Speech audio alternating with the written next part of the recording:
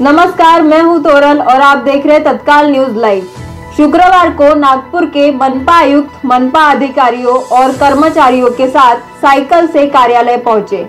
रजल माझी वसुंधरा अभियान अंतर्गत मनपा अधिकारियों और कर्मचारियों ने महीने में एक बार साइकिल से कार्यालय आने का निर्णय लिया है।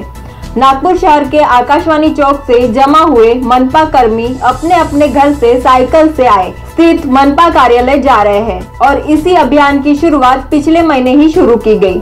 इसके अलावा चौक पर काफ़ी देर तक खड़े रहने से आने वाले को असुविधा भी हो रही थी। कार्यालय पहुँचने के बाद मनपा आयुक्त राधा कृष्ण बी ने कहा कि इस तरह का उपक्रम सभी कार्यालयों में होना चाहिए। शासन का जो एक अभियान है माझी वसुंधरा अभियान उस पर सबसे इम्पोर्टेंट है वो जो एक पर्यावरण पूरक एक्टिविटीज़ शुरू करने का।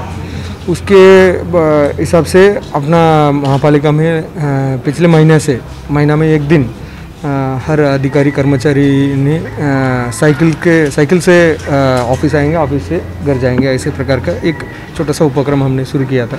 उसका कंटिन्यूशन आज भी कर रहे। इसके बाद भी हर महीना एक एक दिन जिनको कम से कम एक एक, एक दिन हम करने का हम रखा है। इस पर सबसे इम्पोर्टेंट है एक अभी का जो कोरोना का युग में पर्यावरण पूर्वक एक्टिविटी में सबसे इम्पोर्टेंट है खुद के लिए भी अच्छा है वो सोसाइटी के लिए भी अच्छा है जो साइकिलिंग का एक्टिविटी है। आ, सो इसके हिसाब से हमने इसको प्रपोज़ किया है। हमारा हमारा अपेक्षा ऐसे है शहर में हर ऑफ़िस में हर प्राइवेट गवर्नमेंट हॉस्पिटल ऑफ़िस में इस साइकिलिंग का कल्चर जो वाहन का कम से कम यूज़ करने का करने का, उससे हम पर्यावरण का रखने में बहुत फ़ायदा हो सकता